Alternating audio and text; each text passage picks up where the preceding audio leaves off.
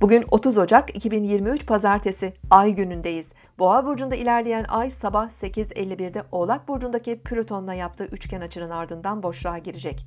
Sabah saatlerinde kendimizi güçlü ve güvende hissedebiliriz. Günlük hedeflerimize de motive olabiliriz. Yakınlarımız ve sevdiğimiz kişilerin ilgi ve desteğini de daha fazla alabiliriz. Ay 11.34'te İkizler Burcu'na geçerek daha hareketli ve değişken enerjiler vermeye başlayacak.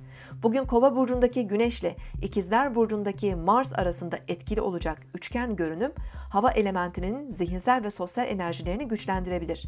Fiziksel enerjimiz artarken inisiyatif alma, mücadele etme alanlarında da cesur ve girişken olabiliriz.